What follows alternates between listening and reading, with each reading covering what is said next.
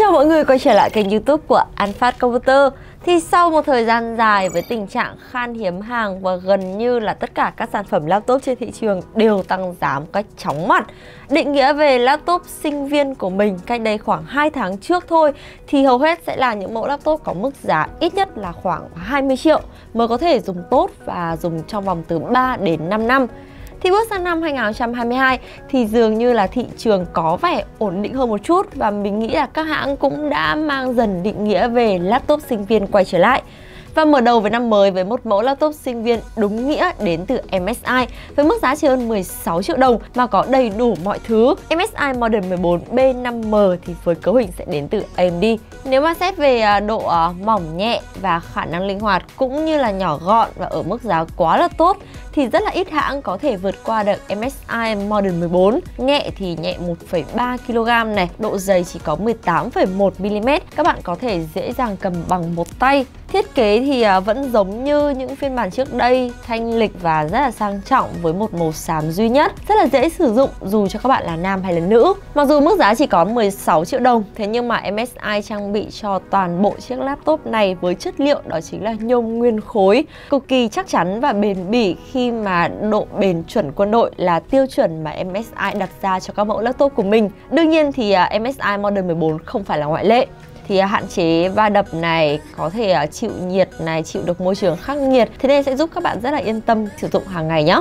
vì để phục vụ mục đích học tập, thế nên chắc chắn là các bạn sẽ phải gõ văn bản khá là nhiều. Nên là MSI đã trang bị cho các bạn một chiếc bản lề dạng nâng trong một góc đánh máy rất là thoải mái. Phần bản lề này thì các bạn có thể mở ra được bằng một tay và mở ra được đó chính là một góc là 180 độ. Rất là phù hợp với các cuộc họp nhóm, học nhóm hay là để trao đổi thông tin với cả người đối diện. Màn hình thì cũng sẽ sẽ giống như phiên bản trước đây. Đây là màn hình 14 inch Full HD tấm nền IPS Tần số quét sẽ là 60 Hz và 45% NTSC ba cạnh viền mỏng thì sẽ cho các bạn một góc nhìn rộng hơn, khả năng quan sát tối ưu hơn. Thì là một chiếc laptop văn phòng để phục vụ các nhu cầu cơ bản thì mình nghĩ là với những thông số của màn hình này đã là đủ để cho các bạn giải trí cũng như là làm các tác vụ văn phòng. Phần webcam thì vẫn được đặt ở cạnh trên với độ phân giải HD chất lượng đủ tốt để các bạn có thể thực hiện các cuộc gọi là video call về cấu hình thì gần đây em đi ngày càng được lòng người dùng khi mà có rất là nhiều những sản phẩm gần đây mà mình review thì đều được trang bị bộ vi xử lý đến từ AMD.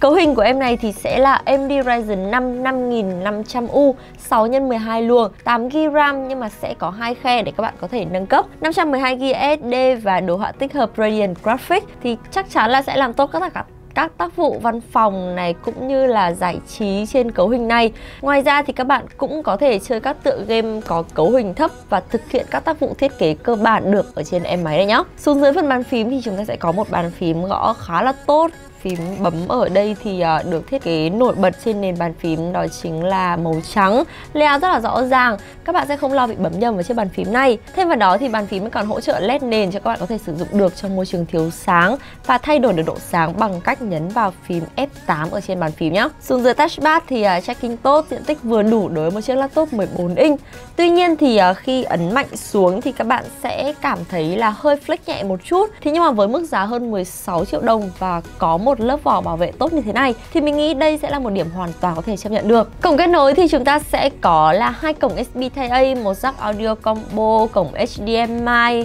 một cổng USB Type-C và khay thẻ micro SD. Tổng kết lại thì với một chiếc máy laptop sinh viên đúng nghĩa với mức giá cực kỳ hợp lý mà lâu lắm rồi thì mình mới thấy là có một mẫu laptop sinh viên đáng để mua như thế này. Có khả năng nâng cấp cấu hình này, đa tác vụ này, thiết kế lại còn rất là mỏng, đẹp, nhẹ lại còn sang nữa. Thì nếu như ai có nhu cầu thì link sản phẩm cũng như các chương trình khuyến mại khác mình sẽ để ngay dưới phần mô tả cho mọi người có thể click vào nhé và hẹn gặp lại mọi người trong những video sau. Xin cảm ơn tất cả các bạn đã theo dõi hết video này và nếu như có thắc mắc về bất kỳ sản phẩm hay chương trình khuyến mại nào thì đường link tư vấn miễn phí cũng như là mua hàng mình sẽ để ngay dưới phần mô tả của video. Và nếu chưa đủ tiền để rước em nó về, đừng quên là ăn phát có trả góp 0%. Nhớ like, share cũng như subscribe và để lại ý kiến của mình dưới phần bình luận nhé. Hẹn gặp lại mọi người trong những video tiếp theo.